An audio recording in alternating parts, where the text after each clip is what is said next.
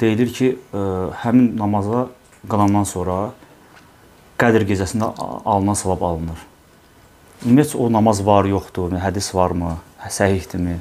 Bir də ki, orada əgər o hədis varsa, orada ə, sünnəti qalandan sonra qılınmalıdır, mütləqdir, yoxsa sünnətdən qabaq qılına bilərmi?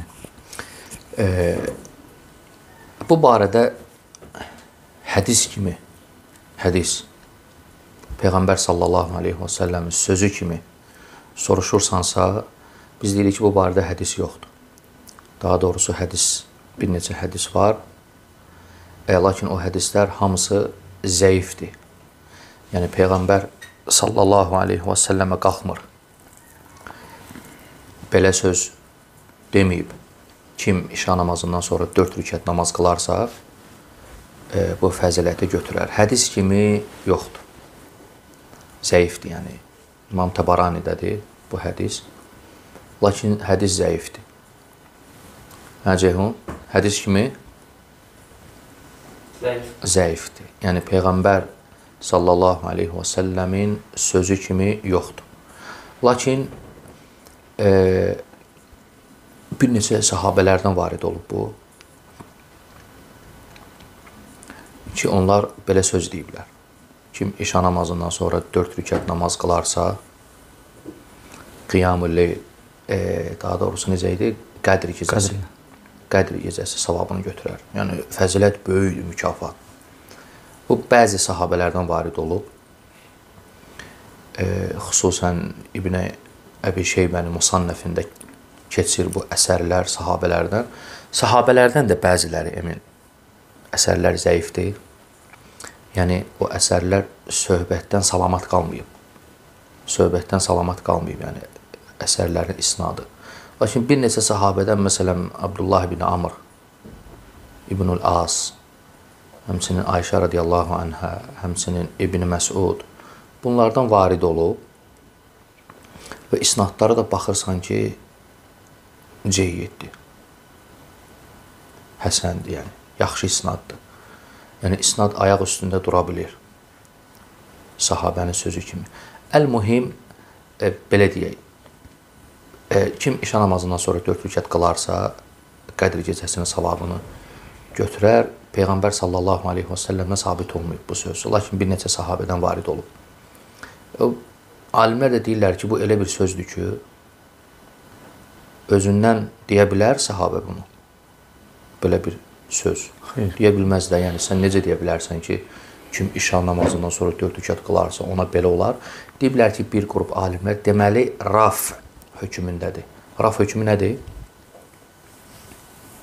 Yəni qalxır Peyğəmbər sallallahu alayhi və səlləmə. Var mövquf və bunu ayətdə saxlayın. Vaqf sahabədə dayanır.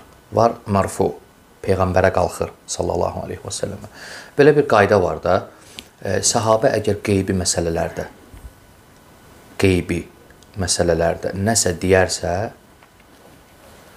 nə deyiblər? Deyiblər ki, o söz mərfu hökmün, raf hökmündədir.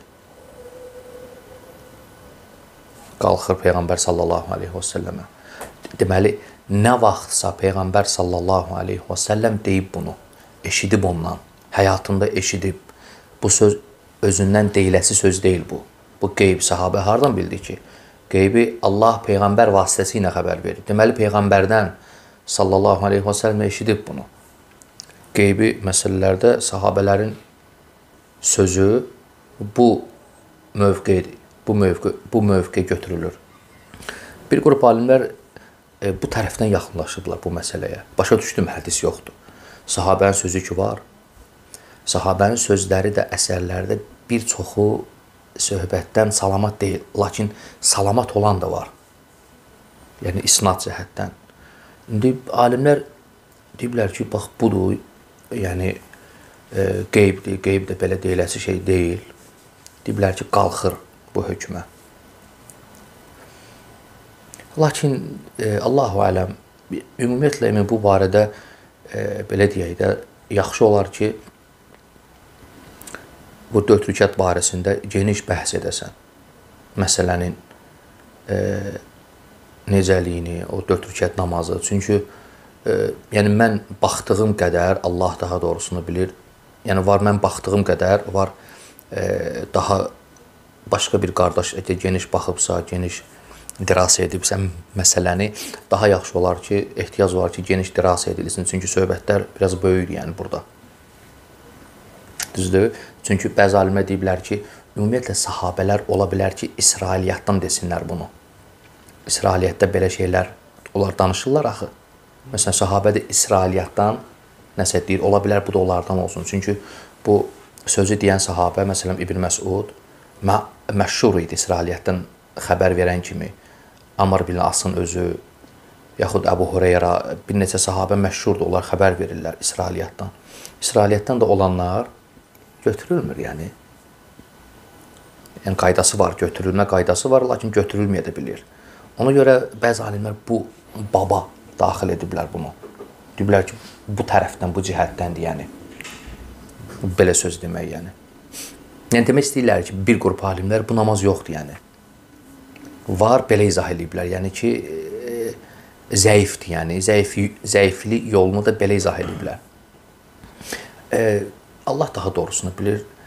E, məsələn, mən dörd məzhəbə baxanda bu məsələdə Həmbəlləri gördüm ki, Həmbəllər İmam Əl-Buhuti e, Kəşşəfül Qina kitabında e, istihbəb, müstəhəb olduğunu deyir. İstihbəb olduğunu deyir, müstəhəb bu əməlin. Həmbəllərdə məşhurdur bu. Kəşşəfül Qina kitabında tapa bilərsən. Həmbəllərdə müstəhəbdir. E,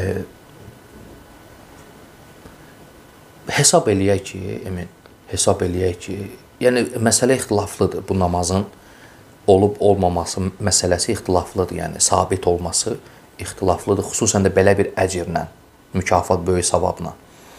Qədir gecəsi. Qədir gecəsi burada murad sanki Qədir gecəsində namaz qılıb o 4 rükəti. Budur murad. Kim 4 rükət qılarsa Qədir gecəsində qılmış kimidir. Qədr gecəsində namaz qılmaq necədir? Elə bil ki, Qədr Qədr gecəsində qılmısan, murad budur, yəni. Hesab etsək ki, sən sən bu əsərləri səhi görənlərdənsən, sən qılırsan. Alimlər deyiblər ki, o alimlər ki deyib səhihdir, sabit olub sahabelərdən, onların özləri özlərinin verdiyi tövcihatlar müxtəlifdir. Nə namazıdır bu? Başa düşdün? Nə namazıdır? Bu haçan verilir? Haçan deyilir? Sabit olandan sonra verilən izahdır da. Bir şey ki sabit olmayıb, nəyə lazımdır? Nə, nə namazıdır? Bilinməsə də ehtiyac yoxdur. Yəni bir halda ki sabit olmayıb. Lakin o alimlər ki deyib sabit olub, yəni sabit olub olmayıb bunu e, böyük elm əhlindən soruşub, geniş bəhs edən cavabını tapa bilər. Yəni kim geniş bəhs edib ondan soruşa bilər. Hər bir halda biz hesab etsək ki, sabit olub, Bunların özləri e, müxtəlif görüşlər deyib. Bəzilər deyiblər ki, qiyamul leyldir. E, e, fərqli bir şey deyil yəni. Elə gecə namazıdır. Çünki işadan sonra qılınan namazlar gecə namazı hamısı. Deyiblər ki, gecə namazının bir hissəsidir 4 rükət. Bunu deyiblər fuqaha. Bir qrup alimlər də deyiblər ki, mütləq nafilədir. Mütləq nafilə mütləq nafilədir. Mütləq nafilə bilirsiniz də, yəni səbəbli yox. Məsələn, e, belə deyək, işa namazından sonra sünnət 2 rükət bu iş, işan namazıdır. Məsələn, qiyamul leyl o qiyamdır. Yəni sən qiyamul leyl namazı qılırsan, sabit olub sünnədə. Məsələn, e, qalxdın istixarə namazı qılmaq istəyirsən. Bu mütləq namaz deyil. Bu namaz, bu namazın səbəbi var. Yaxud dəstəmaz aldın, dəstəmaz namazı 2 rükət düz daxil Bunlar deyiblər ki, bu nafilə mütləq nafilədir. İnsan e, mütləq nafilə namazıdır, yəni. Yəni heç bir səbəb olmadan, belə deyim necəm, e, qalxıb namaz qılmaq istəyirsən. Nə namazıdır soruşur biri. Biz deyirik ki, mütləq nafilə namazıdır. Aydın oldu nə demək istəyirəm? Bir qrup alimlər belə tövcih eləyiblər. Belə tövcih eləyiblər. E, sonradan necə qılınır onun özü biraz tartışmadır. 2-2 qılınır yoxsa elə 4 rükət qılınır. Çünki İbn İbn Məsuddan varid olub ki, bu da İbn Əbi Şeybənin musannəfindədir. Bir salamla qıldı 4 rükət. İşan necə qılınır? 4.